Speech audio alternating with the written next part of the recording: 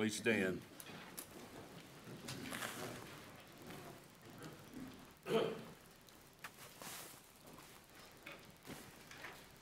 Dear Heavenly Father, we thank you for the abundant grace and mercy that you've shown towards us to allow us to come together to conduct this city's business. And Lord, we pray that we all come in with a spirit of unity as brothers and sisters. Let us not disagree or disengage, let us not disrespect or disengage from one another, even though we may disagree, but let's continue to work together as brothers and sisters. We say a special prayer for the men and women of Ocoee who are serving in our armed services at, at far and abroad, and a special prayer for all the families of our first responders. Remind them, Lord, every day that they send their brothers, their sisters, their husbands and wives, sons and daughters out. As they watch over us, you are watching over them. We're so careful to give you the praise, the honor, and the glory you do. In Jesus' name we pray. Amen. Amen. I pledge allegiance to the flag of the United States of America and to the republic for which it stands, one nation, under God, and indivisible, with liberty and justice for all.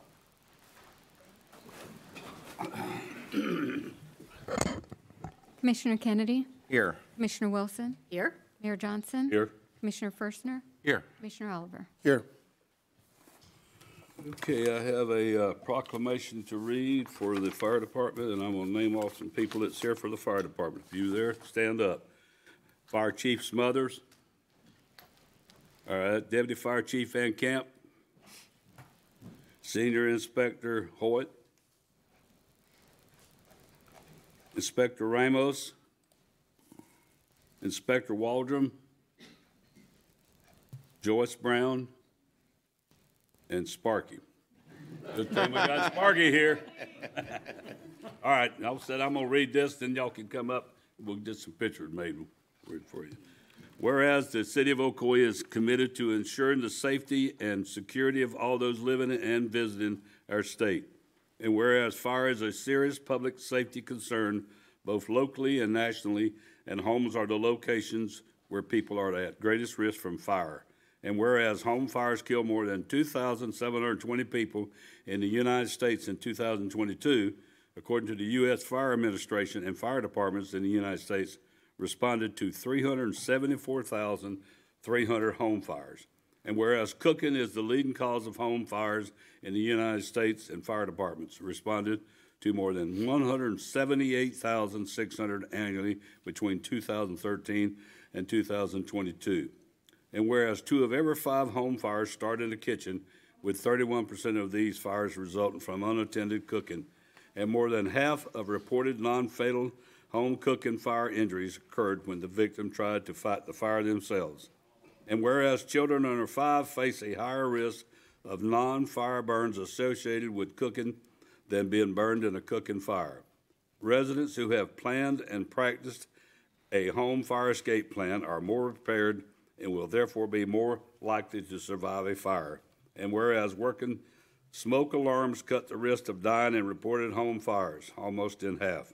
And whereas the City of Ocoee first responders are dedicated to reducing the occurrence of home fires and home fire injuries through prevention and protection education. Whereas the City of Ocoee residents are responsive to public education measures and are able to take personal steps to increase their safety from fire, especially in their homes. And whereas as October is Fire Prevention Month, we find it appropriate to recognize all that Ocoee Fire Department does to protect our community, both now and throughout its illustrious history in the city of Ocoee. Whereas the 2024 Fire Prevention Month theme, Cooking safe, Safety Starts With You. Pay attention to fire prevention effectively serves to remind us to stay alert and use caution when cooking to reduce the risk of kitchen fires. Now, therefore, the City Commission of the City of Ocoee does hereby proclaim October 2024 as Fire Prevention Month throughout the city, and I urge all people of the City of Ocoee to check their kitchens for fire hazards and use safe cooking practices during Fire Prevention Month 2024. And join me in thanking our firefighters, staff past and present, for their service and dedication to our community. Their tremendous skill, bravery, and compassion in difficult circumstances does not go unnoticed, and we appreciate all they do to keep our community safe. In witness whereof I the mayor affix the seal of the city of Ocoee, Florida, this first day of October 2024. All right, come on up front. Bring on Sparky up. All right, everybody up here, get together, let's stand up behind them and. Oh, good. We Got somebody taking pictures? Yeah, Tim right here. Nope, okay. All right. Buddy. Come on in, guys. Yeah, I- I- it's- thank you. I, I always tell Tim to get my good side. Whoops. That day. There you go. I got over.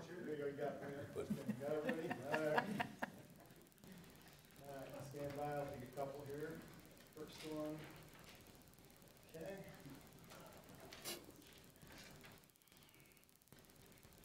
All right, ready. Anyone else have pictures, cameras need to take? Oh, did you read that? No, that's all right. All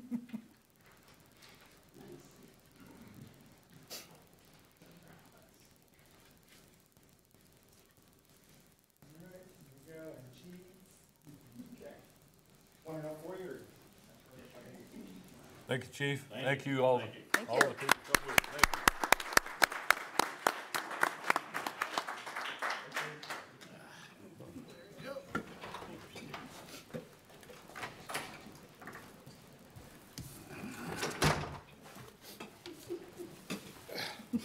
It goes back to me.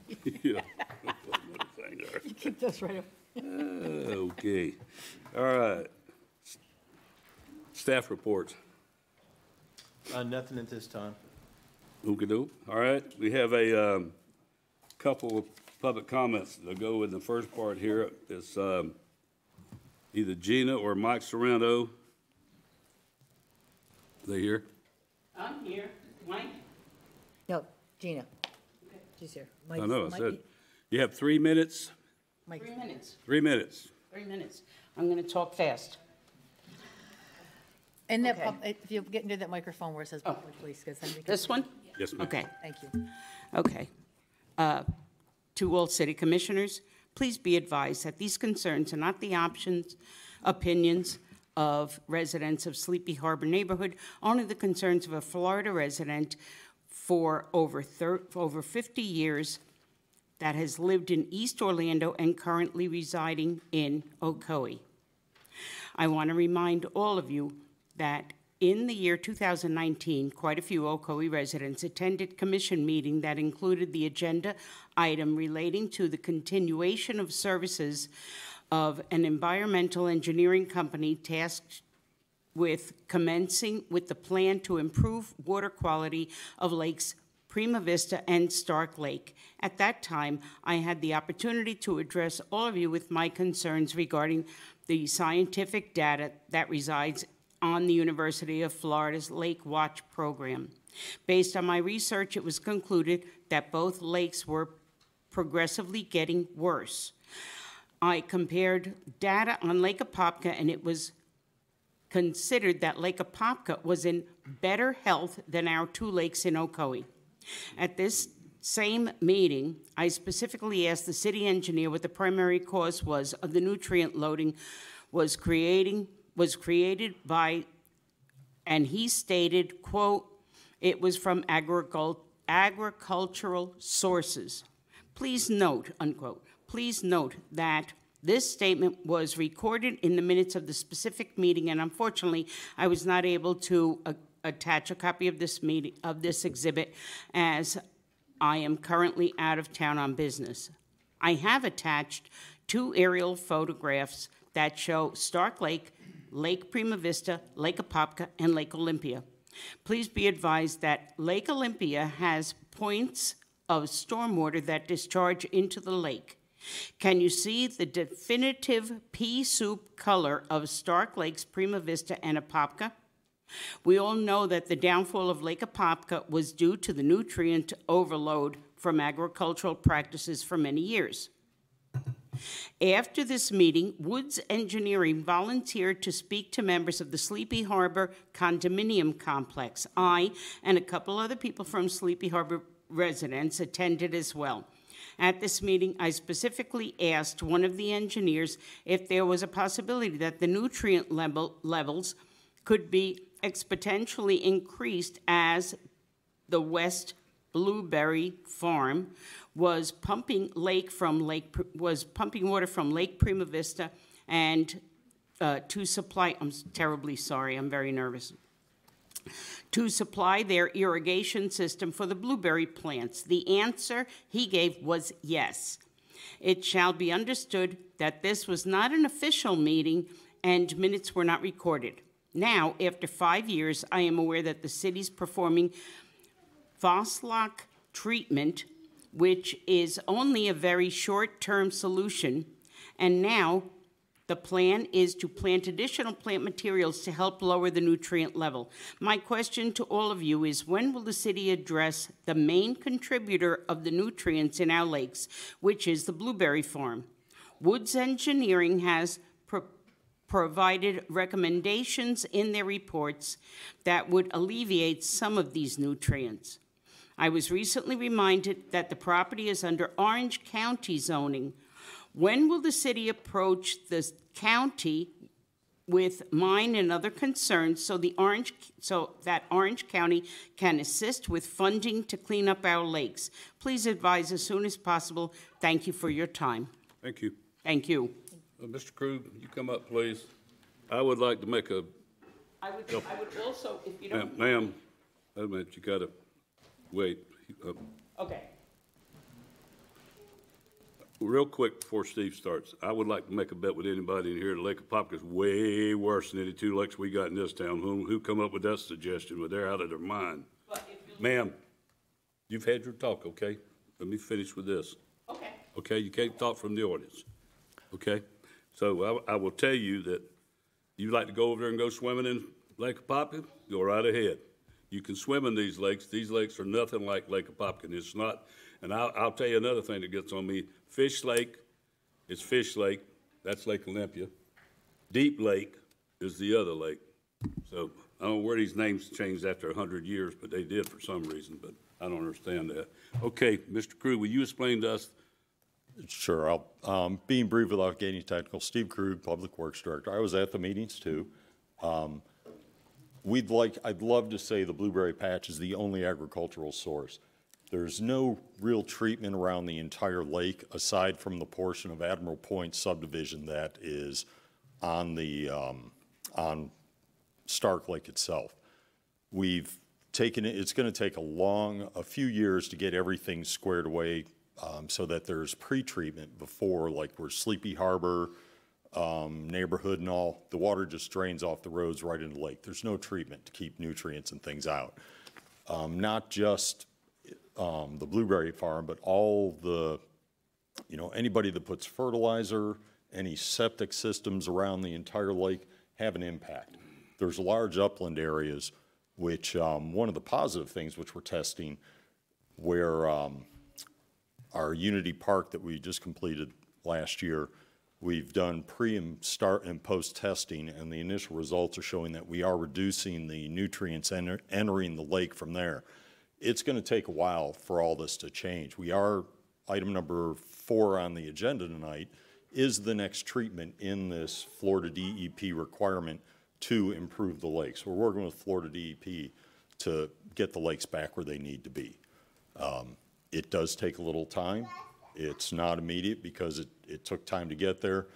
Lake Prima Vista, if you look at the history, was just barely above being impaired. It's never been a great lake. It's a small lake, unfortunately, that acts more like a bowl, and the only outlet is going into Stark Lake. And we're just treating everything we can, and as doing the most cost-effective things to start. I'd love to be able to hit everything, including doing some things at the Blueberry Patch, but there's costs, there's certain costs you just can't do. But we're, we're doing everything we need to in order to maintain the lake levels. Steve, if, Mayor, um, couple things real quick on that. Um, As with the case with Lake Apopka, we had decades of agricultural buildup dating, predating the Clean Water Act and the Environmental Protection Act, and I believe that to be the case here. It was, there were no regulations for orange growers and things like that, and there were a lot of groves in the area, and we didn't have laws to regulate them, and I believe there was a tremendous amount of accumulation in that water body as well as Stark Lake um, that has now led to what's happening. Um, Steve, can you mention again the coordination that's being done with Orange County and any other agencies?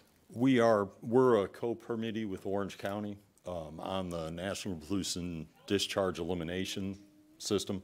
So we work with them to make sure everything we do is to eliminate um, nutrients and materials going into lakes. We're required, there's a lot of unfunded federal mandates that the city is fortunate to have the stormwater fee that we can apply to that. So we're actually able to do things where the county can't. But we do work hand in hand with the county on these things. All right. Commissioner Wilsen has I want something. to say something. I just want to make the announcement that um, I've talked to Mr. Smurito about this, and just for anyone who wants to know, it is item four on the agenda tonight, if you're confused as to what the discussion item is.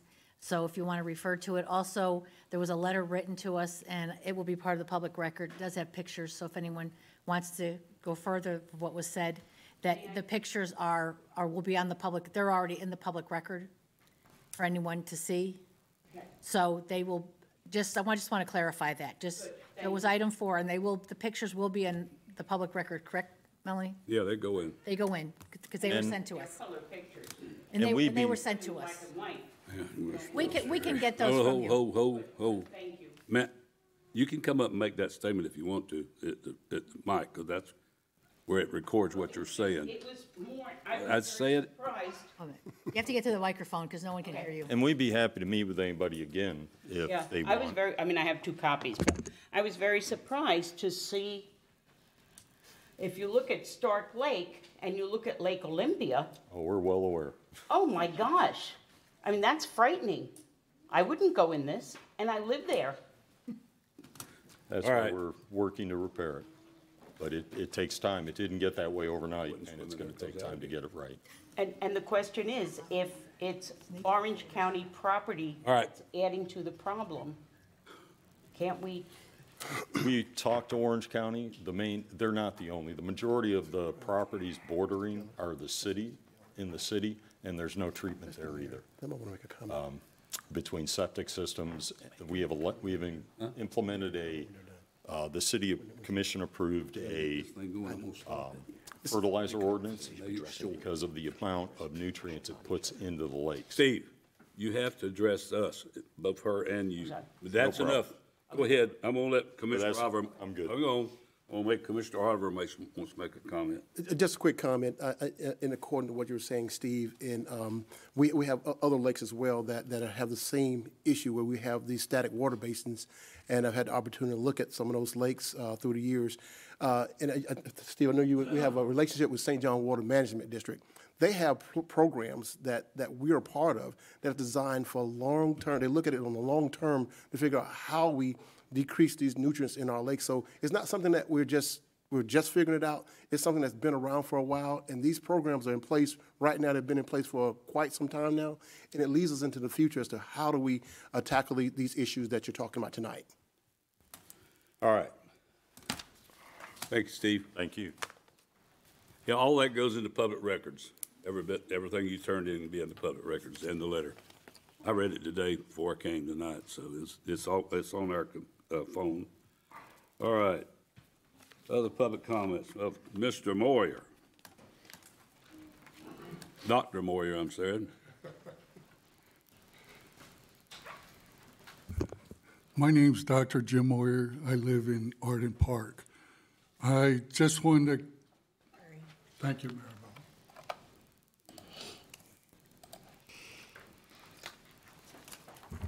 As the city recognized, I believe it was at the last meeting, they did a proclamation for Hispanic Heritage Month. And I just want to make a few comments in regard to that. When I have discussion with people about Hispanic Heritage Month, what always comes up is why is it September 15th to October 15th? Well, the answer is it was originally a week long celebration initiated by President Johnson. And the reason that they chose the week beginning September 15th is five Central American countries have their Independence Day on September 15th. And then Mexico begins their independence time the next day, September 16th. And Chile has their Independence Day in, on September 18th. But then President Reagan wanted to expand it to the month, so it made sense to go from September 15th to October 15th. For one reason, because it includes Columbus Day, which is celebrated um, many parts of Latin America. And um, I would just like everyone to join all of us in celebrating Hispanic Heritage Month. That includes the United States, which is the second largest Spanish speaking country in the world behind Mexico, and South America, Central America, Mexico, here, and parts of the Caribbean, Cuba, which is the largest Caribbean island, uh, Hispaniola, which is, includes uh, Dominican Republic and Haiti, which is the most populated island, and of course, Puerto Rico. Thank you very much, and God bless you all. Thank you, Dr. Maury. Doug Gomer? Gomer? Gomer? Gumbo.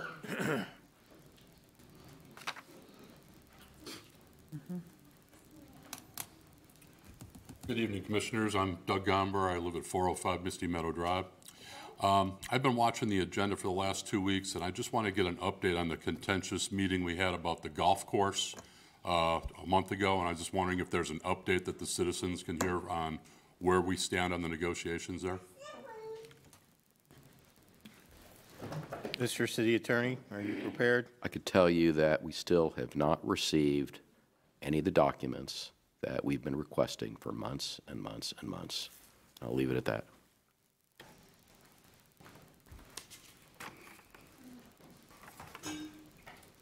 Is that the answer you?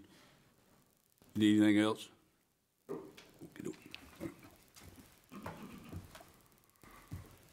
All right, consent agenda.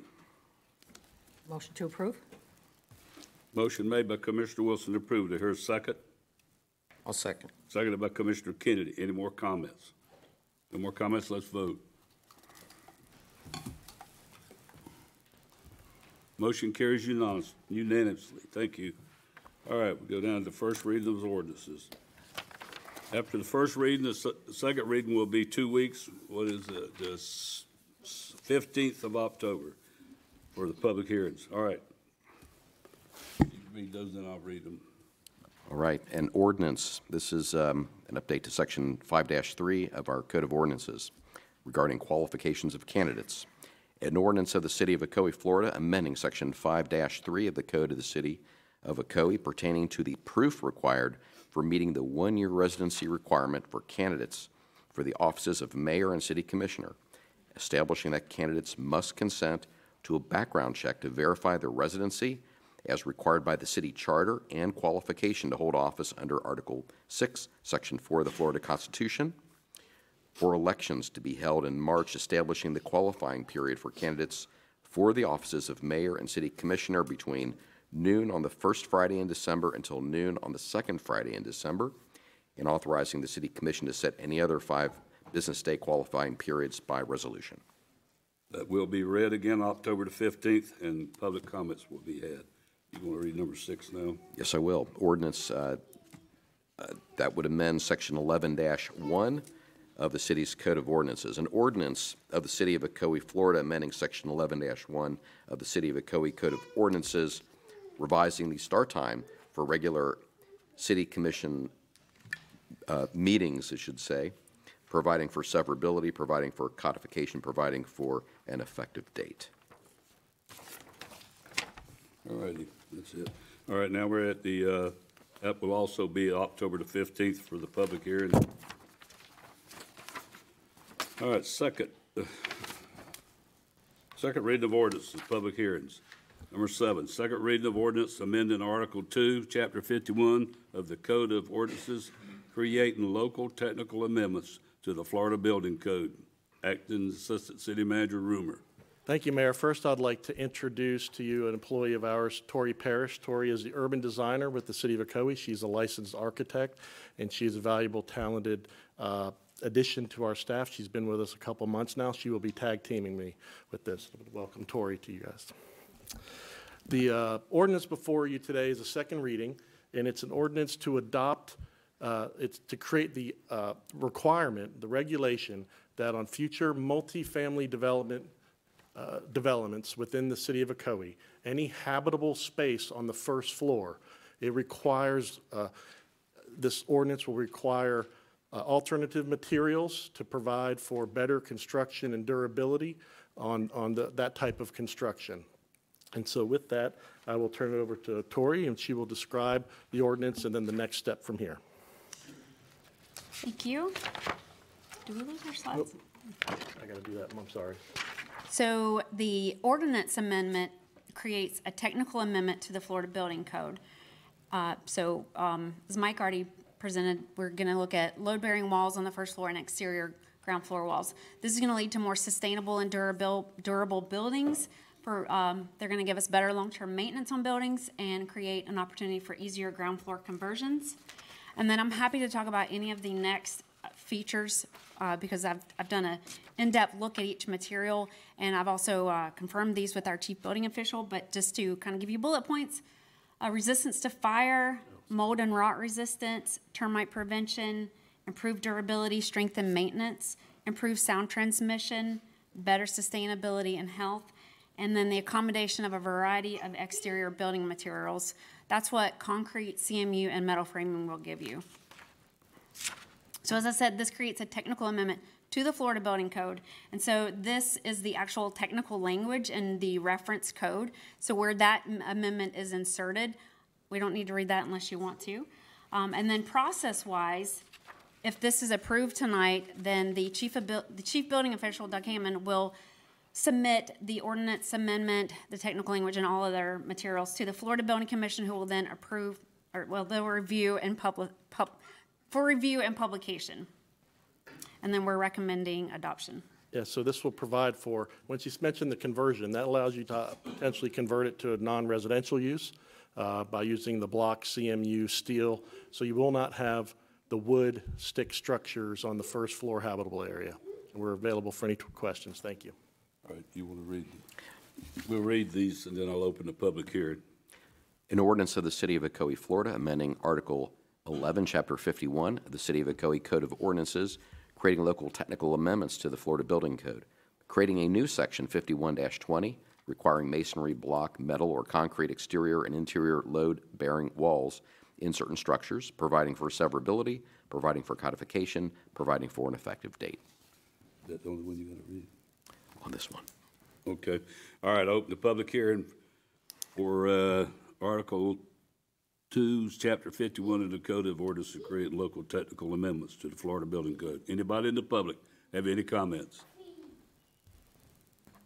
All right, I'll close it, come back to the dais. Anybody up on the dais have any comments? All right, I need a motion. I'll make a motion to approve. Motion made by Commissioner Kennedy. Do I hear a second? I'll second that. Seconded by Commissioner Firstner. Any more comments? If not, let's vote. Thank you. Motion carries unanimously. Thank you. All right, we're gonna move on to number eight, second reading of ordinances for the Shops on the Bluff Small-Scale Comprehensive Plan Future Land Use Map Amendment and Rezoning.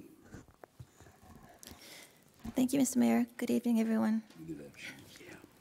So this is an application for a small-scale comp plan amendment and corresponding rezoning from R1AA to PUD. Um, It's in the northeast area of Clark and Clarcona Ocoee Road, about 400 feet from the intersection. It's just over four acres in size. It's currently vacant and wooded. Um, This is an aerial of the property. The surrounding future land use designation map and the surrounding zoning map. Um, This is the site plan um, that they're wanting to do. So basically, it's a um, two two plazas, less than 25,000 square feet in size, consisting of retail and restaurant uses. Um, This is the proposed landscaping plan. This uh, rezoning also includes a waiver to the um, requirements for the minimum perimeter building um, requirements to have less perimeter building landscaping in order to create a more pedestrian environment um, for the plaza. So staff looked at it in terms of the square footage. We looked at open space requirements, parking requirements, setbacks, um, transportation, and uh, utilities. Um, we also looked at it with respect to the uh, West Orange Trail requirements, the consistency with the comprehensive plan, um, and the Wekiva requirements for a minimum 35% open space set aside. Uh, DRC considered this item at its July 30th meeting and made a recommendation of approval subject to a few conditions. Um, Those conditions have been met when they went into the PCC meeting. At the PCC, um, the PCC met in, on September 10th and made a recommendation of approval, subject to the condition that the tattoo parlors and um, smoke vape shops and those types of uses be included in the not included uses list. And with that, staff is recommending approval of the comp plan amendment and rezoning. Thank you. All right. Great. An ordinance of the City of Ocoee, Florida, amending Article 2, Chapter 51 of the City of Ocoee Code of Ordinances. I'm sorry, I'm looking at the wrong one. An ordinance of the City of Ocoee, Florida, amending the City of Ocoee Comprehensive Plan as adopted in 1991, as amended, amending the future land use map of the Ocoee Comprehensive Plan to change the future land use map designation from low-density residential to commercial for certain real properties containing approximately 4.29 acres located on the north side of Clarcona Ocoee Road, beginning approximately 400 feet east of the North Clark Road at Clarcona Ocoee Road intersection, providing for and authorizing the revision of the official city future land use map prevailing in the event of any inconsistency, providing for severability, providing for an effective date, and then I also need to read the rezoning one. An ordinance of the City of Ocoee, Florida, changing the zoning classification from R1AA, Single Family Dwelling District, to PUD, Planned Unit Development District, on certain real properties containing approximately 4.29 acres located on the north side of Clarcona Ocoee Road, beginning approximately 400 feet east of the North Clark Road at Clarcona Ocoee Road intersection, finding said zoning to be consistent with Ocoee Comprehensive Plan, providing for and authorizing the revision of the official city zoning map, prevailing in the event of any inconsistency, providing for severability, and providing for an effective date. We need to do them separate. Let's do it separate. All right, I'm gonna open the public hearing. Anybody have any comments on, uh, item eight in the public? Don't forget, Mike, come on up, John. Mr. Bass, I'm sorry.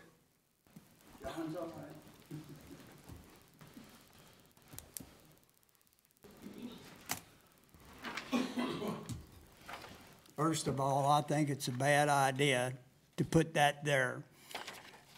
Think of how many accidents we have right now on Clarcona Ocoee Road and Clark Road. They killed one the other night. We had three accidents Monday night, and they have them every night. And when they put this in there, they're gonna have more problems. That's about all I gotta say, but I, I, there's one little thing that doesn't have anything to do with that, that I wanna say, that, uh, Lake Apopka is one of the best fishing lakes there is around. It's always been. I ain't been there since today, and I caught a bunch of fish, I can tell you. Thank you. Uh, All right. Anybody else have any comments on the public comments? All right, we're gonna close the public hearing, bring it back up to the dais. I need a motion. I'll make the motion. Motion made by Commissioner Oliver. Do I hear a second? Second. Seconded by Commissioner Firstner. All right, let's vote.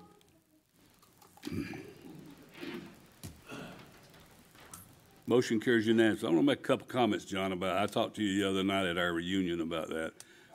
I, I will tell you that the wrecks are down below you. I know, I know where you live at. The wrecks are at that corner where that red light's at. Most of them are all right there that happened.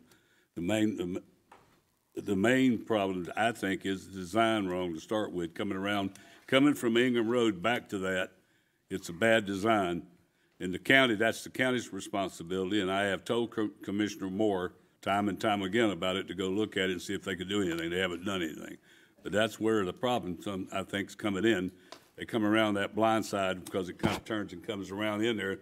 Nobody sees it. They're pulling across the road, even with a light, and that's where the wrecks are happening. Now, I'm not the engineer, but I have called Commissioner Moore and turned that in and asked her to do, address that, but they haven't done it yet. All right. Yeah, I, I think we might need two motions, or we need, we do. Yes. We did. That was the first one. I just wanted to say, it. yeah. We got now, you want to read, it? you read that. I already. reread it. All right, so we need a motion now on the zoning. I'll make that motion. Mr. Oliver, Commissioner Oliver makes that motion. There's a second. I'll second. Seconded by Commissioner Wilsen. I have a comment. Okay. I want to make sure that we include the conditions. Yeah. he The should. motion needs to be conditioned as recommended, not to include tattoo establishments, smoke, vape, and tobacco shops, and other like establishments. I agree. I, I make that motion uh, on the condition that we um, uphold the, the standing conditions of not having smoke shops or vape Yeah. shops and, um, what was the other? Uh, tattoo parlors. Yeah. I'll second that. All right. Do we get a second? Yeah, I- I will Seconded by second. Commissioner Wilsen. You got a comment? No, No? I agree Okay, with him. let's vote. Mesh, mission, uh, motion carries unanimously. Thank you. All right, public hearings, N- item number nine, approval of One Taylor Street right-of-way vacation, vacation. Project number VAC twenty-four thirty-six, concurrency, and concurrency and commitment coordinator, Ms. McFarland. Mayor, I just wanted to introduce Brett. He had been on some past staff reports, but I ended up taking over the item for him. So I just realized you haven't formally met him today. Brett's our concurrency commitment coordinator, kind of our planning guy, and he's presenting this case to you. Uh, Good evening, Mayor and Commissioners. Um, Tonight, we're bringing for your approval the adoption of a resolution that would be abandoning and vacating unimproved public right-of-way uh, located north of 1 Taylor Street. A bit of background, this is a city-initiated right-of-way vacation. Um, The right-of-way is currently unimproved, and after discussions with staff, the city has no plans to improve the right-of-way. Um, And in our typical process of notifying all public utilities, the city received no objections from all applicable utility companies. Uh, This is a marked survey showing the area uh, that is to be vacated. This is a uh, location map just showing the streets um, in the proximity to the, to the right-of-way. And this is an aerial image, just giving you a better picture of it. With that in mind, staff is recommending uh, that the city commission approve a resolution abandoning and vacating the unimproved public right-of-way located north of 1 Taylor Street. Thank you. All righty? Read. Yes. A resolution of the City of Ocoee, Florida, abandoning and vacating an unimproved public right-of-way northwest one quarter of the southeast one quarter of Section 18, Township 22 South, Range 28 East, lying southerly of the southerly line of lots 8 and 9.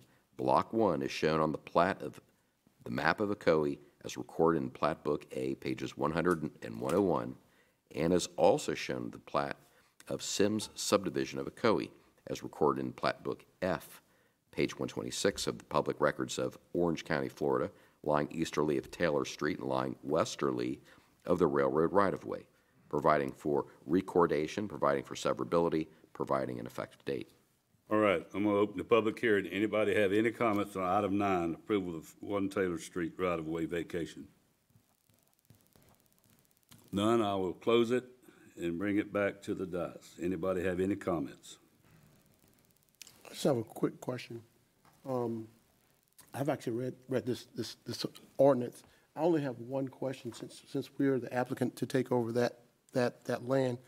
Uh, what would be the future use for, for us, since it's so close to our downtown, what would be the future use for that, that particular plat of land?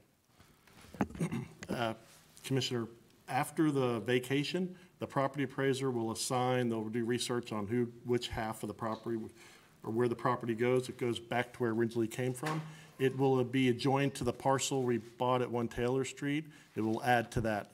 Uh, We anticipate 50/50, but we don't know. It may be all of it. It'll be absorbed by that parcel. It, it was rezoned when the commission approved a, uh, the land transaction with the, the One Taylor Street property.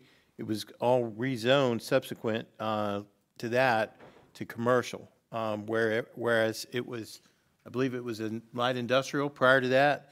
So um, we had a goal of keeping it a more downtown use, and light industrial is not really a downtown use. So it's, it would be office commercial. Yeah, That, that was, that was, that answers my question perfectly. I just want to know how it's going to tie into our downtown uh, vision. Absolutely. Okay. All right, I need a motion. I'll Make that motion? Motion uh, for number nine is by Commissioner Wilsen. Do we hear a s- second? I'll second that. Seconded by Commissioner Firstner. No more comments? Let's vote. Motion carries unanimously. All right, item number 10, approval of Hometown Studios special exception. Mayor and Commissioners, uh, we are bringing this item um, for your consideration tonight. It's a request for a special exception approval for a hot- hotel use um, on certain property, uh, specifically parcel ID 06-22-28-0000-00-008, uh, that is currently zoned um, as a commercial PUD with the land use plan specifying C2 uses. A bit of background about the property. Um, It is located on the south side of West Road. It's approximately 775 feet east of the intersection of West Road and Ocoee-Apopka Road. Uh, The subject parcel is 3.71 acres in size and is a part of the Lady Bird Academy PUD. Uh, It currently has a commercial future land use, um, and it is vacant with shared stormwater access uh, and drive access with Lady Bird Academy. These are some aerials showing the property, as well as the future land use map, uh, showing the subject property and surrounding properties, as well as the surrounding zoning map. I just want to make a quick note, the property to the south is the West Orange Trail, um, and to the south of that is property that is shown as R1A. However, this property is owned by the Central Florida Highway Express Authority and has very little chance of being developed as residential. Now, the code requires that we bring this item uh, before you, uh, according to Table um, 5-1 of the permitted use regulations. As you can see, for property that is zoned C2, uh, it is required to receive a special exception for a hotel or motel use. And the special exception criteria that we are looking at um, when staff uh, reviews these is uh, three specifically, with the first being whether the proposed uh, use or structure um, would violate the comprehensive plan or land development code.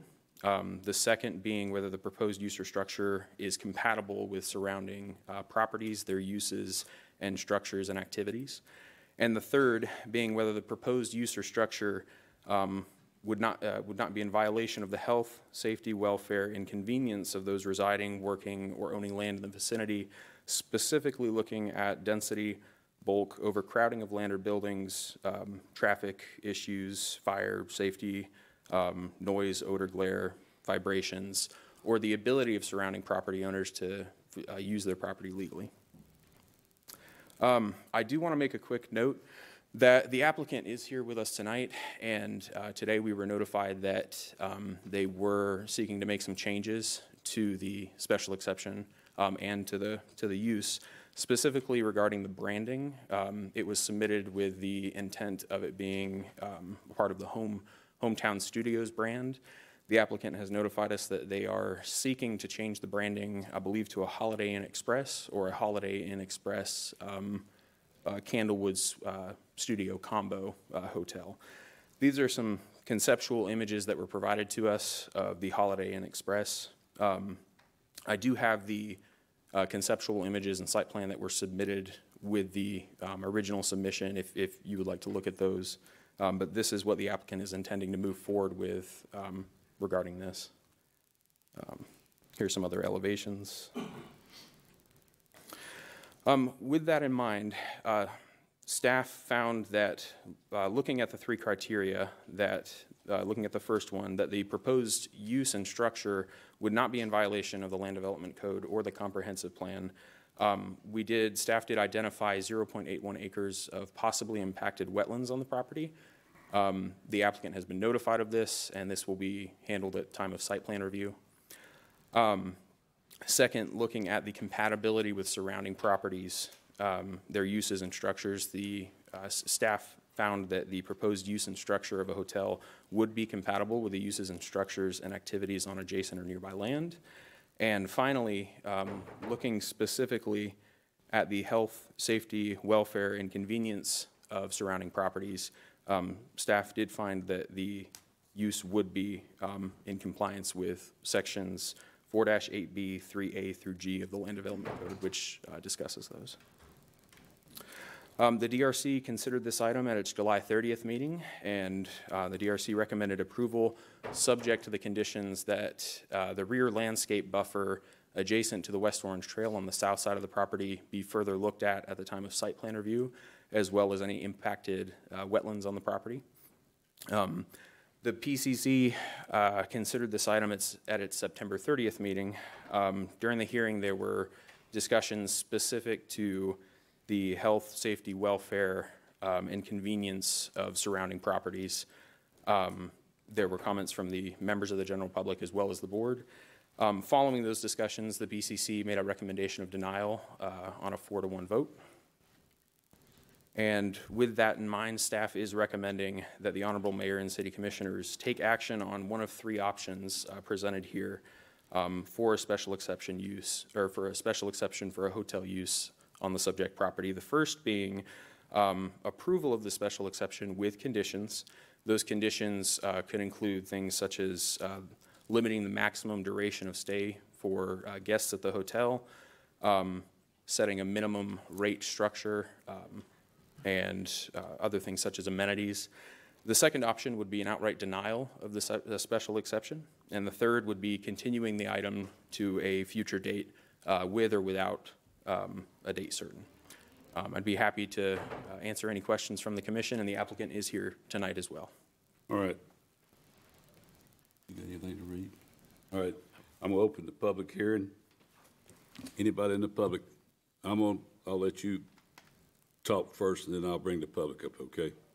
Good evening. As has been stated, the ownership has contacted Holiday Inn, and they are changing the brand. It's not a question at this point for this site. Um, That change will result in prox, Give us your name and who. oh, I'm sorry, Russell Maynard, Central Florida Engineering Consultants, 1111 North Ronald Reagan Avenue, Longwood, Florida, 32750. All right. But the, uh, the change in brand would result in a uh, lessening of the rooms. It would be about 110 or so rooms as opposed to the 124, I believe it is now. Um, And with that, uh, I leave it to you, and if I can rebut any of the public comments. All right, I'm gonna open it up now. I have one forum here for Kelly Beck. You get five minutes. Good evening. My name is Kelly Beck. I am a resident of the city of Ocoee and president of the Greens at Forest Lake Homeowners Association. I have several members of my community and fellow board members here as well with me tonight. We are encouraging the city of Ocoee and the commissioners to choose option two and deny the special exception. We have a lot of concerns about this. Um, I understand they're changing the brand, but I believe you said it was a Holiday Inn Express in combination with Candlewood Studio, which from a quick Google search is still an extended stay property that's where we have a concern. Um, there were two reasons to go against this, right? The first was its compatibility with nearby properties. This is a residential area. We have a Publix across the street. We have a daycare adjacent to this property. We have an elementary school across the street. You have the West Orange Trail going behind it, where you have community members such as myself out biking and walking every day, where you have high schoolers taking the trail to get to Ocoee High School daily and you're proposing putting a property that routinely is known for high crime rates, transient populations, drug abuse, any of the properties that are extended stay motels that you pull the court records on within Orange County have eviction notices all the time. This isn't just a normal hotel. This is something that's going to bring a very different dynamic into the community. And that's where we have concerns is whenever we have people that are staying in our community over an extended time that are in a residential area with possibly nothing more to do because they're finding these low-income housing is what it unfortunately is replacing within our community because of the ongoing housing crisis. So right off the bat, I don't see it as being compatible with the adjacent and nearby communities, especially speaking to my community, which is the uh, Fountains West PUD directly across the street from this. Additionally, to the point of the safety and welfare, number three, this is an issue. When you're bringing in transient populations, unfortunately, many of them do suffer with drug addiction and with mental health. It is a crisis in our country, but now you're placing that, sharing a driveway with a daycare center. You have a four story building overlooking that. They're known for having issues with sex trafficking in these types of, of properties. And again, you're sharing that property with the daycare. You're across the street from an elementary school. You're backing it up against a trail where women walk alone and bike and skate and where kids are going to high school on a daily basis. This is a legitimate concern for our community and granting them this exception that you're not meeting the criteria that were outlined. Um, there's other properties like the shops on the bluff that went to reading tonight that nobody spoke against. We're excited about those types of developments. They're talking about a dentist office and a coffee shop with a patio on that property. That adds value to our community. That gives residents third spaces to gather, to communicate, and to build a community. This does not contribute to building a community, and I would argue is a detriment to our community. So I encourage you to vote no and deny the special exception. Thank you. Thank you. Uh, Wait, I got one more. Mr. Lumley.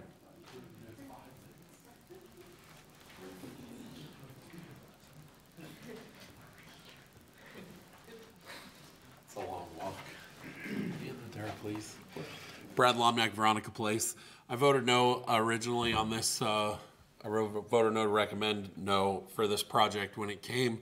Uh, the the gentleman that uh, brought it up, you know, did it was it was an extended stay right till the last two seconds. Then it was not going to be an extended stay. So if this were to be approved in any way, there would need to be conditions that the if the flag were to ever change to an extended stay, a true extended stay property, that that would not be allowed anymore. So the these people can change flags on their hotels from Holiday Inn to Homewood anytime they want. So if uh, you know if this is a ruse to get the the project approved and then changed, we should put some considerations in there. So thank you. All right. That's all the, anybody else in the public have any comments? All right, you can come back up and make your comments back. Russell Maynard for the applicant again. Um, We are proposing either or, and if the extended stay of the Candlewood is truly a problem, then it would just be a Holiday Inn Express. And we'll drop the, the, the portion of it that would be extended stay. It would be a small number of rooms, but if that's the concern, I've done research on the web. I, di- I haven't found any issues with hotels, but we're at your leisure. Thank you. All right. Um, Commissioners?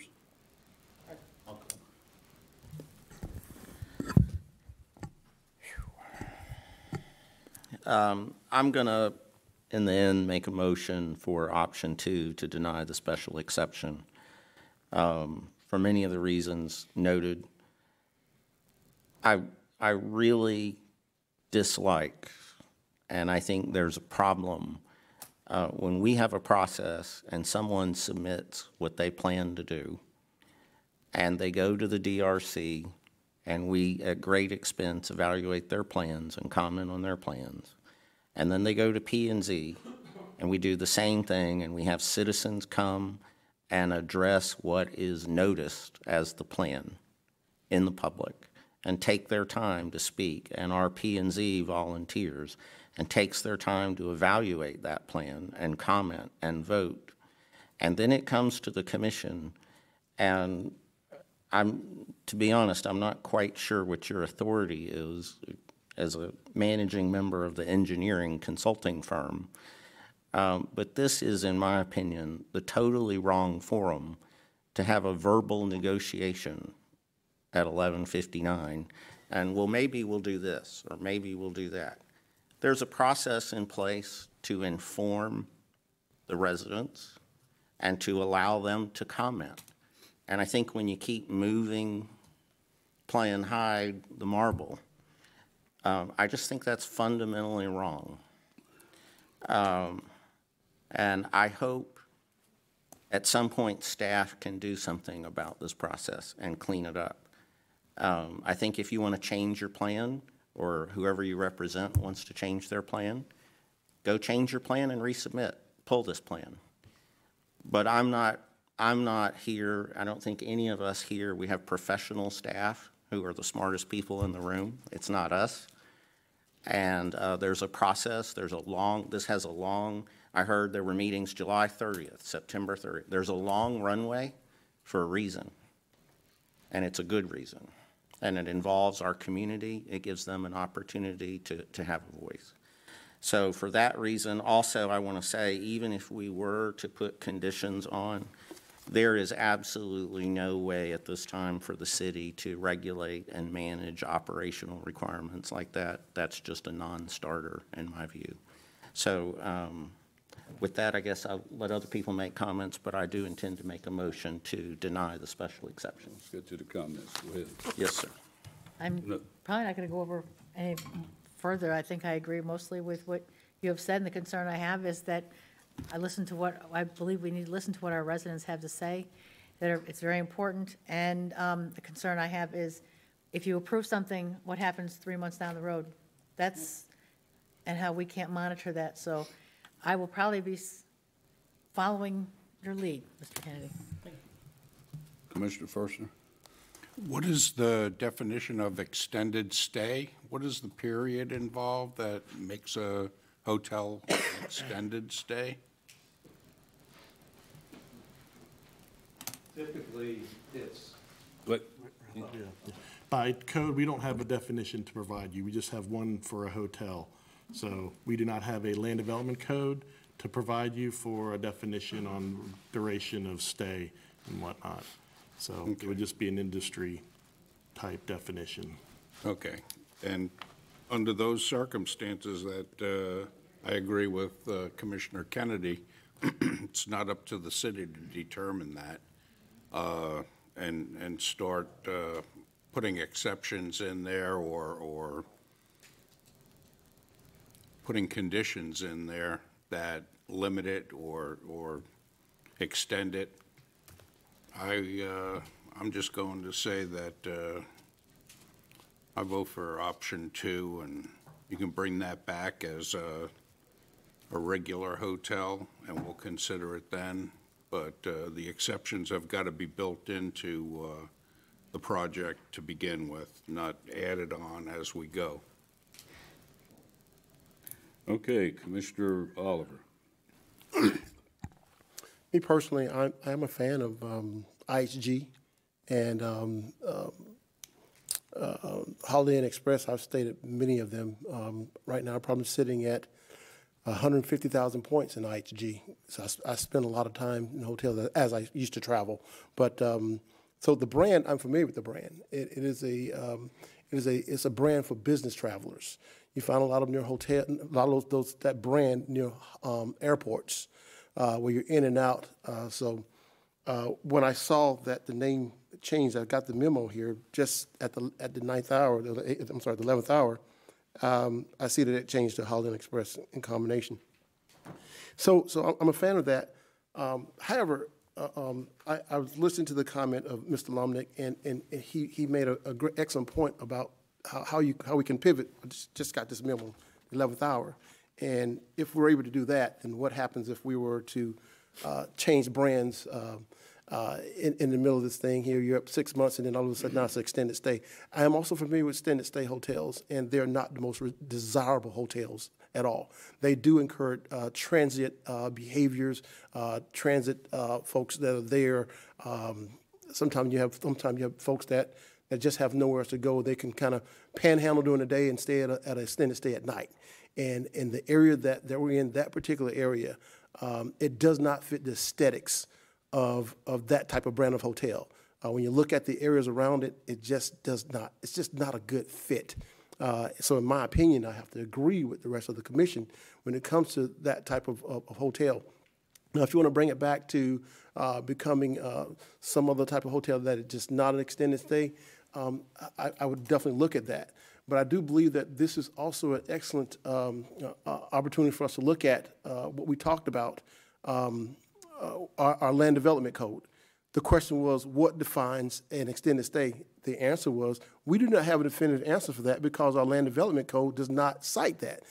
Perfect reason why we actually created this six-month moratorium to sit down and look at our land development code to address issues just like this. So I think that this goes to prove our point as to why we need the moratorium and why we need this, this land development code to be changed. So that's my comments. Okay, I won't make a lot of more time on discussing it. I also will go with the no, option two, denying the special exception, which I think that's not the right place for it, and, uh, I think that's what the city does not want to start. All right. I need a motion. Need a motion. I'll make a motion to deny the special exception. Motion's made to deny the special exception by Commissioner Kennedy. Do I hear a second? I'll second. Seconded by Commissioner Wilsen. Any more comments? Not, let's vote. Do we vote yes to deny? Yes, thank you. Okay, good. Motion carries unanimously to deny the exception. All right. I want to ask, is Mr. Thompson here? Chris Thompson? Nope, okay. All right. Where are we at now? We're at regular agenda. Centennial Planning Update and Direction. Acting, I don't think that's acting anymore, is it?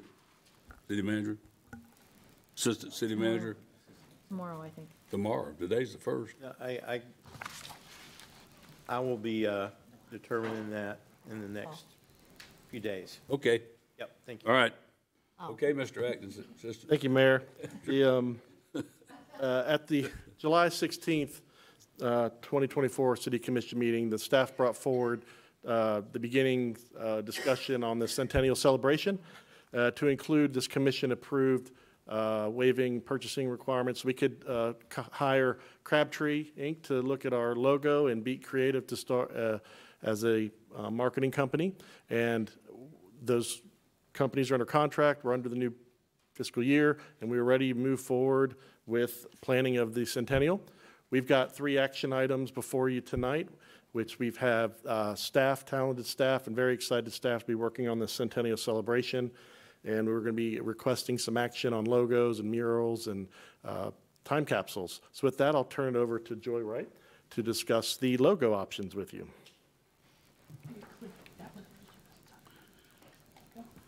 You.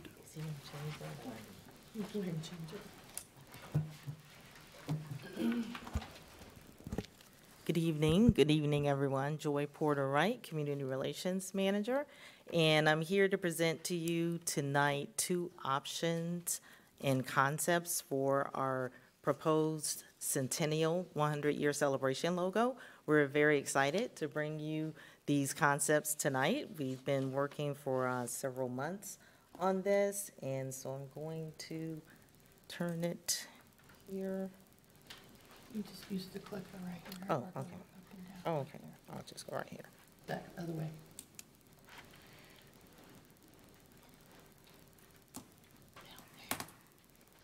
Okay, what you see here on the screen is uh, Concept A. As Mike mentioned, we've been working with Andy Crabtree. He's with Crabtree Creative Inc., and a lot of you are familiar with him. He designed and created the city's logo, and he also designed and created the CRA logo, Community Redevelopment Agency logo. So we worked with him for several years, and so again, the committee, we're really excited to present this these two concepts to you. We've done some research and gone out to see what other cities and counties were presenting for their centennial celebration. So again, this is concept A, and what we were looking for and had been working with Andy to come up with a design that was a clean design that we plan to use on several different platforms, including the one that you see here, which is the pole banners. And so this is concept A, and we will use the Centennial logo, the 100-year celebration logo on several platforms, including pole banners, T-shirts, uh, city letterhead, social media, various promotional giveaways. So again, the Centennial logo 100-year celebration design, 1925 to 2025, is really the centerpiece, centerpiece of the Centennial celebration. So we'd like to, again, present these to you. So this is concept A, and again, this is the clean design that we were looking for. If you look at the number 100, you will see how the actual city logo is incorporated into the number 100 and also incorporated into the number zero. So we wanted to have the same look and feel for the Centennial logo that we do have for the city's branding with the existing current city logo.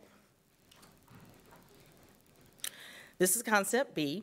This is a little more traditional, just in terms of the ribbon, the gold ribbon that you see there with the 100 years and the year, the word years printed on that. So again, this is a little bit more tra- traditional. And again, we're trying to focus on the design. And what you see here is, again, concept B, and you see the pole banners, and we will have vertical representations of the Centennial logo as well as horizontal. So again, here are both of the concepts, A and B. And again, what we're asking for you to do tonight, we're presenting these options to you, and we're asking you to vote on the option that you prefer. Righty, commissioners? I'll say something.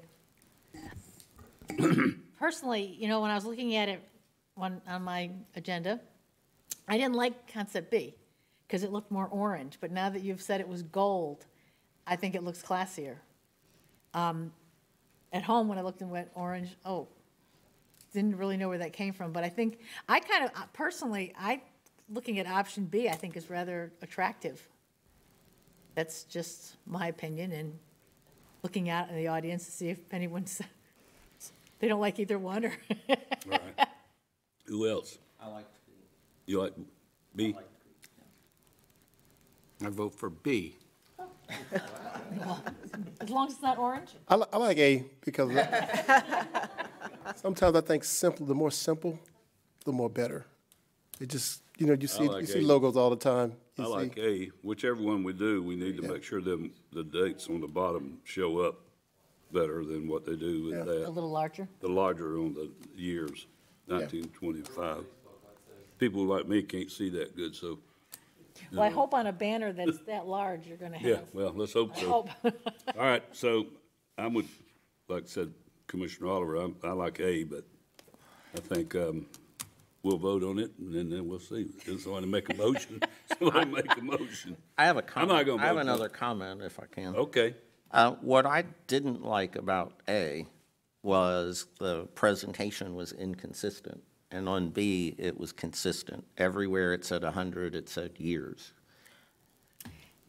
And on A, there's places where it just says 100 Ocoee, which is, Well- so. It says years It underneath. says years under- underneath. No, in, the- in the left-hand corner, it just says 100. Yeah, but here's the one with the pictures on it. It's got, Some say years and some say, some don't. Well, the picture's the one we're doing, a hundred years, it says We're years. talking- It doesn't But say. that don't matter, it's We're gonna talking be, about the it's banner, gonna be, correct? This is just for the Yeah, banner? we're- No, they said focusing the on- logo, We're the focusing more on the concept. design concept. We always, have- we'll have the ability to change the words if necessary, but we're really focusing on the design and asking you to vote on the design concept. Yeah, I think if we're going to vote, we need to be voting on exactly what we're going to get. Just my opinion. I mean, that's worthless.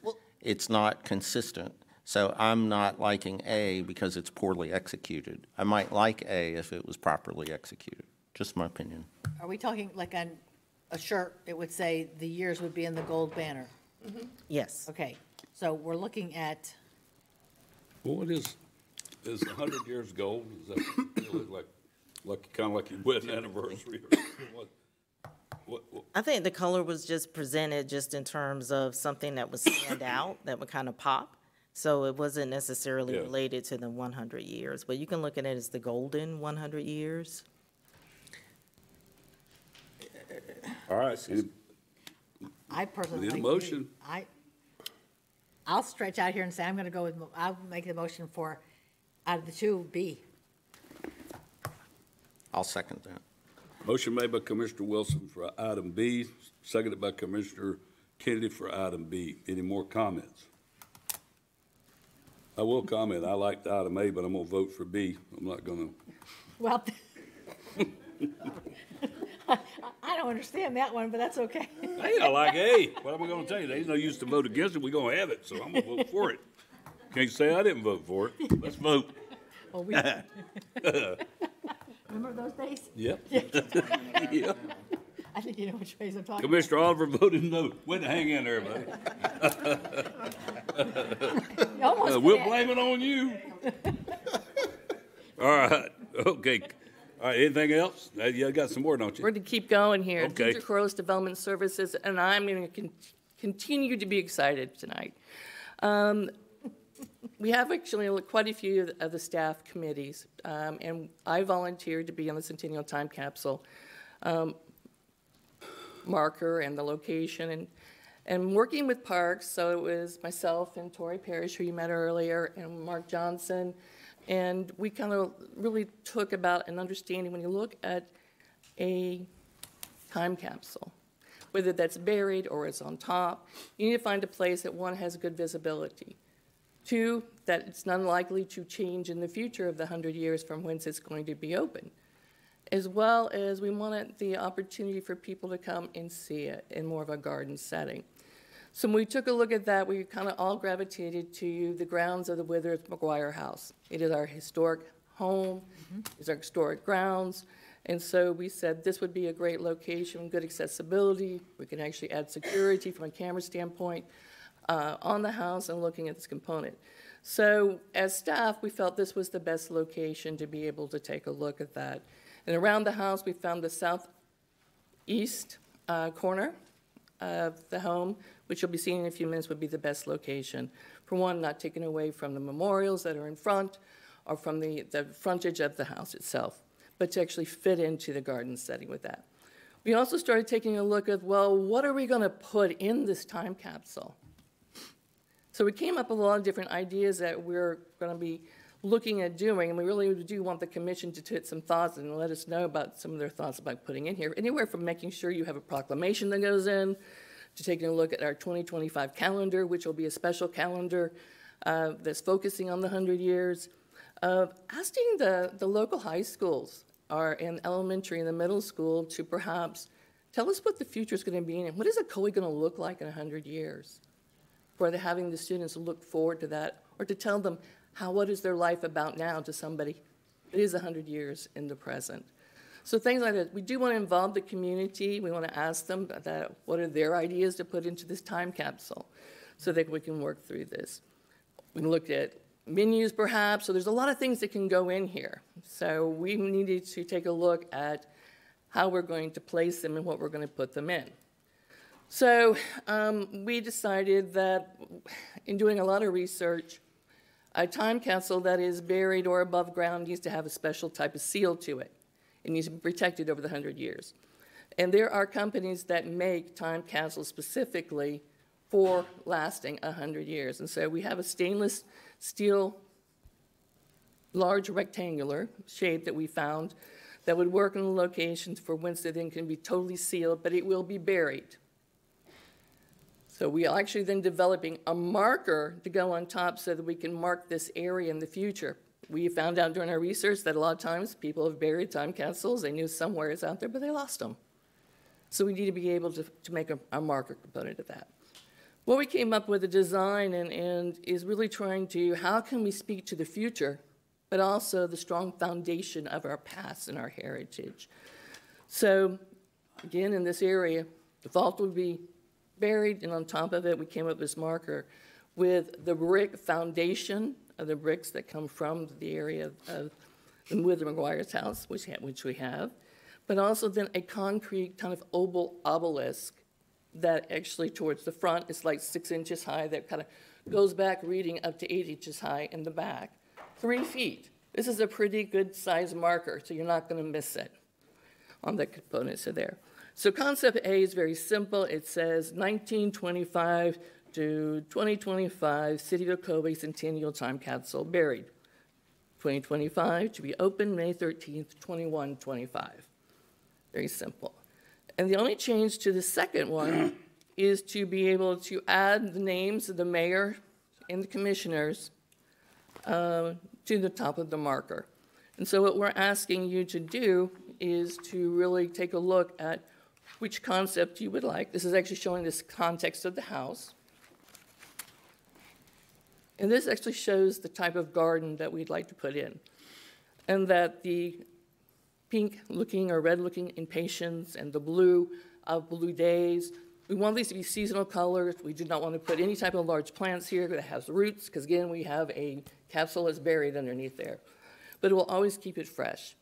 And so at this time, we're asking if you accept the marker so we can go forth and finishing the engineering drawings then, and whether you would like to have the names of the mayor and the commer- the commissioners on this or not. I like the time capsule. I like the wh- where it's located. Um, You want to know what time we're going to be opening? May 13th. I, I think it's kind of neat putting it that, I mean, I won't be here, but, uh, but, um, Well, hopefully this time capsule will be, so. don't laugh at that. Oh, I'm not letting you, We because I won't- know I won't be here We won't either. discuss our age at that point. Um, I like what you're putting in it. Um, I think it'd be interesting a hundred years from now to look at what we've looked at from a hundred years in the past. So I'm not gonna comment, I think, regarding names put on it. That's, I'm just, I'm not comfortable doing that. Okay, let me ask one question. First, everybody okay with the location? Yes. Okay, so we're good with the location, I'm good. Okay, Scott? okay? Commissioner, he said yes. Yes. Yes, yes, yes. Okay, I have co- uh, I have a comment. Um, I, I guess I'll take the bullet, because I don't care. Um, I'd be a vote for not putting the names of the commissioners on there. Um, I don't think it's about any five people, that's the whole point of it. Um, and I'd like to see, um, the list of things that were gonna be included. Um, I personally didn't think they spoke about the people and the character of the town. Um, I'd like to see more work done there. I don't know if, uh, I mean, just, just now thinking about it, I don't know if there's something that can be done with, uh, the Unity project or proclamations or whatever. Heritage, you talked about heritage, I don't, golf balls and frisbee golf doesn't do it sentimentally for me. Um, maybe it does for others. I like the ideas about the, uh, the writings and those things. I think that more in that vein. yeah. We are, in, in Joy and I, have- uh, we've talked about how we want to use some social media, to get ideas from the community. Yeah, I think that's, What do you think needs to go in there? Do you have something you'd like to donate that will, that we can fit in there? We do have certain size limitations. I like those ideas. So those are some of the things that we're doing. So this is going to be evolving as it relates to what goes in there. Um, And we'll be coming back to you as we kind of flush these ideas out of what actually will be those contents. And so we're kind of, well, you'll, this is not the last you're going to see me with my excitement. Did you read off what was, what you, what suggestions were to go in there? Well, actually, in your packet, if you go back to, I mean, they didn't, nobody said they were going in there, they just said that was a it was- suggestion. these are just different ideas that we Yeah, Nobody said brainstormed. that, We- that's why it's up here. No, I like the, I, I understand what Mr. Kennedy said, and some of these things, you see, I, they're just thrown in there, but, you know, pickleball and things like that. Well- I'd like to see newspaper, a newspaper, maybe where someone can look back a hundred years, things like that that are, I don't, I, Well, now we realize how big it is, I wondered how you're gonna fit a Monopoly game in there. Well, that's a- but, uh, Oh, and it's big, it is big. You're looking at a, almost a four and a half foot long by almost four foot wide and almost two feet deep vault. So it's sizable. I can get smaller vaults, but I started with the biggest one. And then we can, and order down, so to speak, so I can know anything could fit. So that's kind of how we. Well, I thought the whole purpose was is to put suggestions. I don't t- care about pickleball and I don't care about the other. I do care about pickleball. See, I'm getting you to comment on it. But I'm That was saying, my It was the only reason that's there tonight, not to make a slander on it, but just to say that it's suggestion, suggestions. and Possible. Decide what it is. Yes, sir. Mm-hmm. And we'll be bringing What- those What, back. what was, did you not get one that was in the other building? That, the, where, where our old city hall was at? Wasn't there a, wasn't there a thing there when we tore that down? A time capsule? Yeah. Cornerstone, probably, but I, I just asked, that's what I'm I asking. do not know that. I- Yeah. So, All right, commissioners? I'm good with it. What? Some of you, somebody, somebody's gonna understand what I'm about to say, and somebody's not gonna understand what I'm about to say. We didn't start the fire, but it's always been burning since the world's been turning.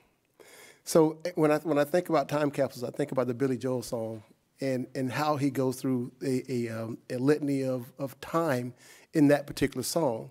And when I think about time capsules, I think about um, what, what was going on in the world uh, during that time, what was going on in, in this country, what was going on uh, in, in this state, in this county, in this city. And I think that when we think about time capsules, I think about those things and being able to uh, um, be able to um, uh, um, identify uh, what was going on. I, I know we talk about newspapers and things like that, but uh, when I think about time capsules, I think about from that perspective. These are the things that I, I, I think we should put in there. Uh, I don't think it's about, as Commissioner Kennedy stated, about any any one group of people, uh, but uh, the sanctity of of the city leadership at the time, which shouldn't have a name. It is it is the city. So I, I, I believe that it should be uh, ordained by the city and not the city commission. So that's my comments. Okay. I'm just waiting, everybody, let's vote on it, see what we want to do. I'm, I don't, Are we voting on the time, the time capsule location and the size, or are we just? vote- Yeah. Are we doing the location of it? well, I thought we had location by consensus, which I think is, is fine. Everybody through consensus. I mean, this is not something that officially has to have a vote. I mean, we can even say whether you want your names on it or not by consensus, or you can vote. That's up to you guys on how you want your procedures to go. well, when you, you- you- when you put some of the paperwork in there, it'll have names on it anyway, so it don't matter. Oh, the proclamation, yes, Be yes. there. No, it you will. know. I mean, Yeah, I think that's. um, So I will work on those contents as we start getting more input and bringing those back to you at future updates. but I think it, one of the things would be interesting, if you take pictures around town at the different areas and put those pictures in there that shows what it was, just like now, hundred years ago, we, we have some of, of different things. But if you put some pictures of there, the different areas of town, uh, that was the buildings and what it was and then what it's gonna be, it'd be amazing to see that. Uh, One of the things I put in there was this photo album of, you know, of different times that we've come, you know, over the past hundred years. And I want it in both a printed version as well as a digital version. Who knows how they're gonna be looking Yeah. at data hundred years from now? I mean, just think about hundred years ago and what we had available to us. Yeah. It's going to be amazing. So yes, I totally agree with all those things. So we'll refine this list. This was really just a brainstorm dump. And we'll start moving forward with the design. And did I hear consensus it go forth without names? You're going to have the names and the proclamations and other things that are in. Well, for instance, the flower, the flower we use in our design, do you have a name? Passion Put flower. The name of the flower and why it There's come a up to story. be, because somebody's gonna say, where did it come up with Yeah, that? I have a story with that, so we can put all that in there as how, you know, how the things came to be, so not an issue. I hope the calendar will be consensus, uh, it'll have more detail in it in twelve months that will explain things in a hundred years. Yes. What we're talking about. So again, that may incorporate much more than we can by putting additional items in there. Yeah, I think when we get into what's really going in there, we're going to have some very special things, so. I think it's, right. I'm excited. It looks Okay. great. Okay, then we're going to go forward with that. I do have another update. Get to the next section. Um, We've been having different committees, and one of the committees is starting to work on the downtown mural. And I think what we're not, we're not here to present an idea of the mural, we're doing the process, just to update you where we're at with the process and what we're doing. And so I'd like to uh, have Tori Parrish come in, and she's going to run you through some of the things that we're working on. Good evening, good evening again, Commissioners. This time I get to talk about something creative. So again, this item is not an actionable item. This one is an update, but I've been working with a couple of other staff members. uh, And we have researched other public art and public mural programs across the country. We've drafted some goals and guidelines, and we've fleshed out a timeline, and we've given a lot of thought to agreements that we would put into place. So the intent of this mural is to promote the city of Ocoee's centennial year and celebration and to inspire civic pride through a prominent visual art installation that reflects the character of Ocoee and enriches the environment and its users. The location would be the west-facing wall of 104 West McKey Street, as you can see on the slides. And then our design guidelines, there's a little bit more to them than just two bullet points, but they do boil down to content and durability. We're looking for vibrant imagery that reflects Ocoee's history, and this mural will function as art and not signage. And then, like I said, we've developed artist qualifications, but that boils down to we're looking for artists with proven experience on large format exterior installations. And then we've developed an artist selection process along with that timeline.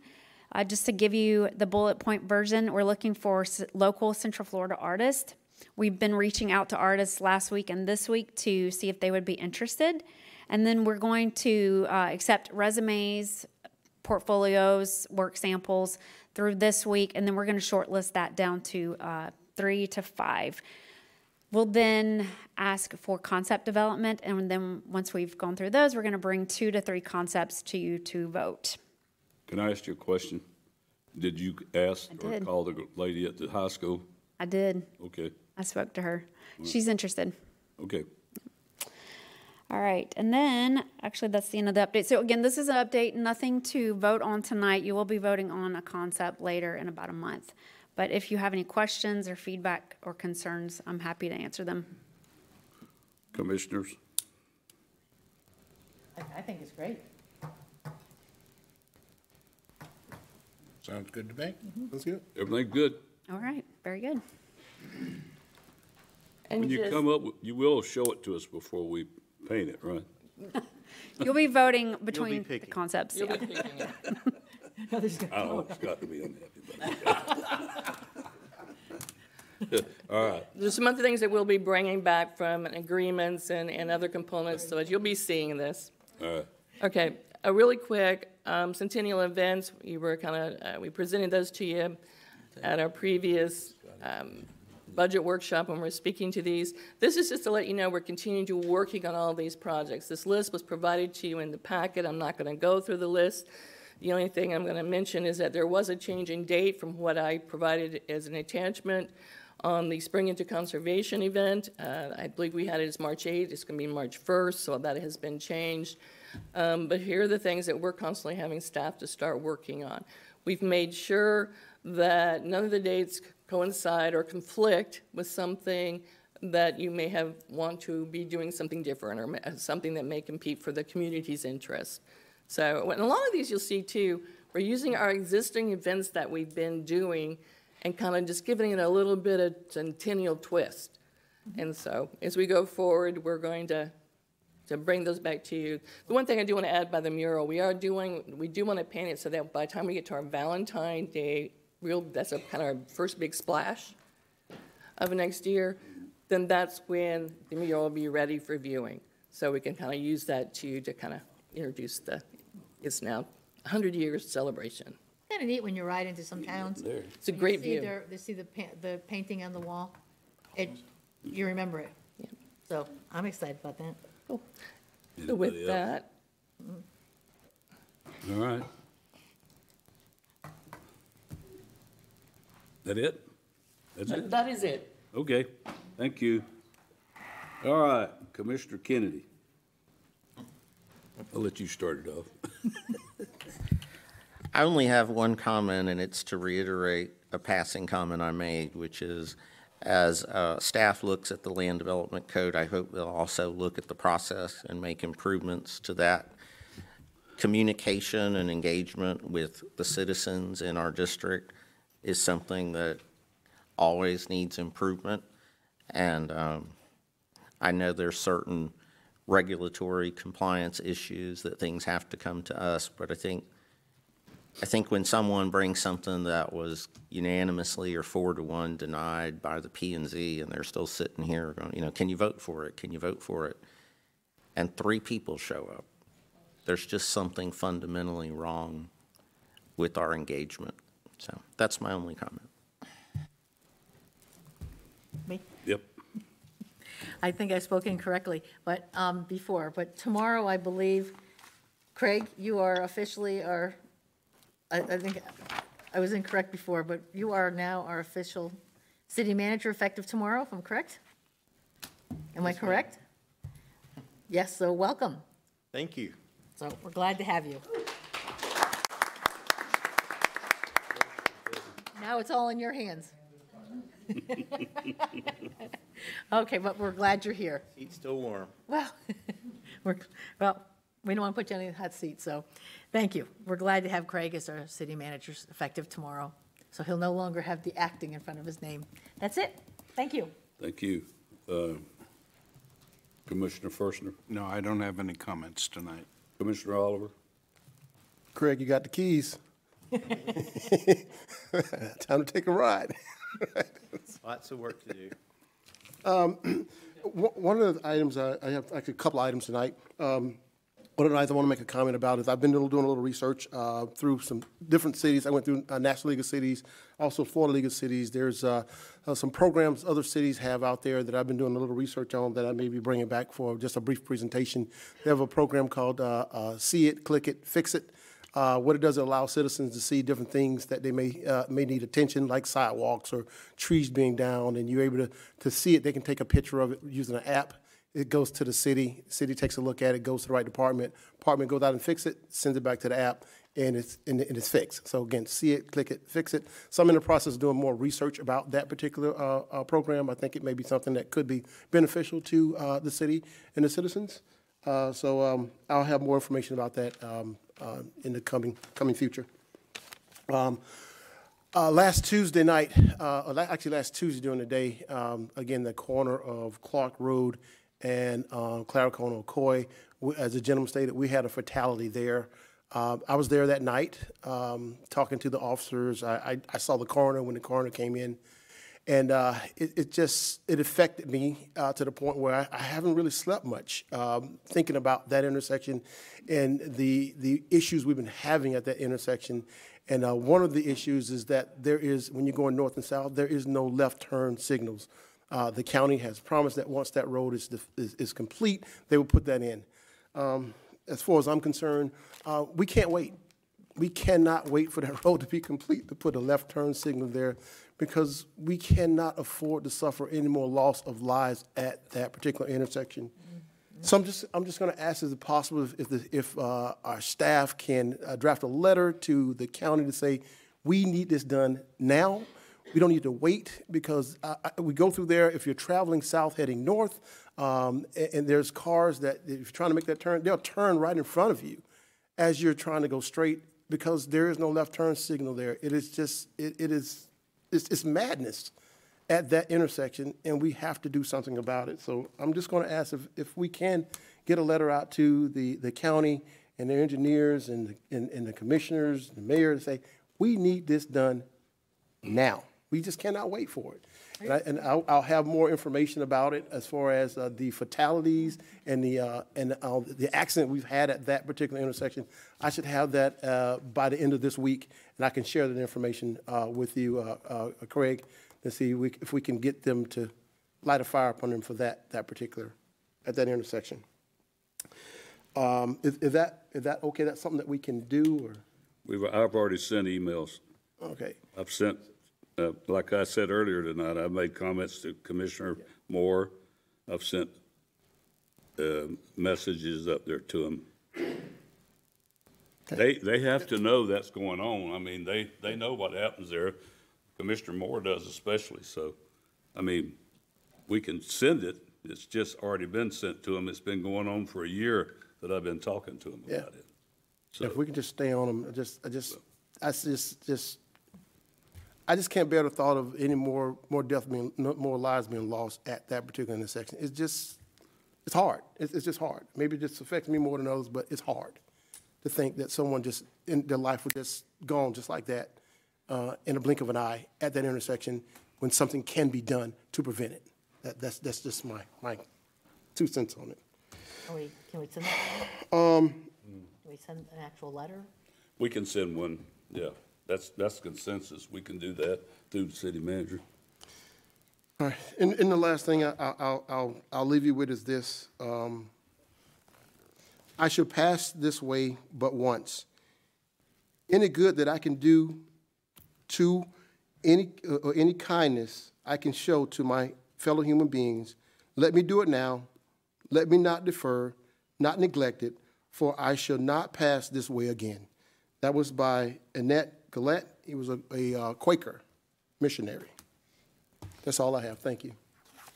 All right, the, um, couple, couple things here, um, I had to abscond these from, uh, Commissioner Wilsen. I should have read them at the public part, and I will from now on. This is City of Ocoee Parks and Recreation presents Halloween Howl Night, Friday, October the twenty-fifth, six PM to nine PM. Trunk or treat, food trucks, games, contests, and more. Bill Breeze, Par- Bill Breeze Park, one twenty-five North Lake George Drive. You can pick these up out in the lobby, right? Mm-hmm. That's where she got them. All right. The other one is the Parks and Recreation Department Jolly Jamboree, food trucks, rides, games, mu- musical performance, and much more. And you forgot to put the golf cart parade. The golf cart parade goes on there too, so, Here, we'll pencil it in. Yeah. So it was a hit last year, so we'll make it back. So it'll be, uh, Saturday, December the fourteenth, two thousand twenty-one. Be tree lighting at seven PM downtown Ocoee, three o'clock PM through eight PM. Does it still have the doggy, uh, I mean, the dog, and, okay, the dog parade or, yeah, okay. All right. The, uh, couple of things I've talked, uh, the, commi- uh, the new city manager about the grass problems we have. Somebody on our city property, we have got to make a note where people mow our city property. It's hard to code enforce people when we don't take care of our own. Um, I brought it up, brought it up, and uh, city manager's gonna address that issue. The other one is semi trucks parking in town. If you see semi trucks parked somewhere in one of our downtown areas, let us know. Because there is a thing that we say we're not supposed to have the semi trucks, and it seems to be they want to do it anyway. So I, I, I keep saying, and I hate to say this in public about Winter Garden, but you, you don't go to Winter Garden and find no semi trucks parked downtown. So we're in the same thing. We don't want to see them in our downtown either. So we need to make sure we take care of that. And the other thing about what you were talking about, Commissioner Oliver, I think it's a good idea to do that, but we do that. I, I know that I personally, and each one of us is in our, in, in our area should be calling in when there's sidewalk problems, there's tree problems, any of that needs to be turned in right then to us to, you can send them to the city manager, assistant city manager, or I, I always take a picture of what they send me and I send it to the department and to the city manager and ask for somebody to take care of it. So, uh, that's, that's, that process, we're doing that part already. I know I am, I hope everybody else is too. So, uh, once again, I think one of the things you was talking about, we all ought to be very uh, thankful for our lives and where we're at with what goes on. Look at what's in the paper today and yesterday. For There had over probably 200 people died in that storm. And when we have a storm come through here, we try to let everybody know full, full ahead of things to make sure you know to be safe. Some people don't believe in what that is, and I, I hate to hear it because you look at these towns. I was supposed to go fishing up at Steinhatchee here probably the next couple of weeks. And oh were going, they tore everything down. The buildings are gone, everything's gone. So these people's lives have changed. It- it- You look at these cities that, small cities up in the Carolinas and Georgia, I mean, they're just devastated. If anybody can help participate with the things, I know, I had somebody ask me the other day, could we get together and maybe get stuff to send up there? And I think we could probably contact some people and get that done. But just think about it, how many, how quick your life changes and what happens when the, when a storm comes through like that. I know, um, it, it's, it's, it's amazing to me that, that, that can happen in these days and times, but it is, it happens. So we're, God looked after us in our area for the storm to pass us by. So everybody have a good evening. See you in two weeks. Mayor. Yeah. Um, just real quick, um, we have a couple of things coming up. Um, we'll be bringing the golf cart ordinance back. Yes, sir. um, To brief the commission on direction we received, as well as the, um, downtown master developer contract, um, at the next meeting. And we also have an uh, important appeal to the city commission on November 5th of staff's denial of the Live Local project located at Clark Road.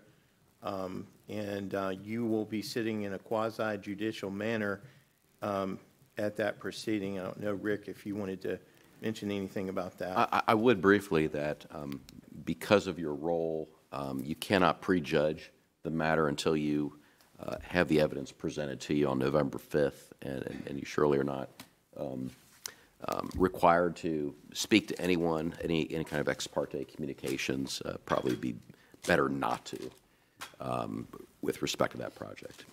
One last, um, go ahead. Go ahead, I'll wait you through. I got one more. Uh, One last thing, um, you can remove the acting title off Mr. Rumer. I just was saving that for myself. Thank you. Did you just find out? Hey, uh, one, one thing I forgot to say, I know the, the stop signs up in your district was put up on the, uh, uh, Wurst and Adair. So the other one is in the process of being designed on, uh, White Road where you come out of Montgomery.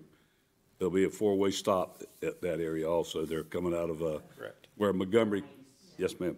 Well, that, I think that's got to be designed a little different because it has turn lanes and stuff. So it's coming. So everybody don't worry. That's in the process. Good evening. Thank you. Thank you.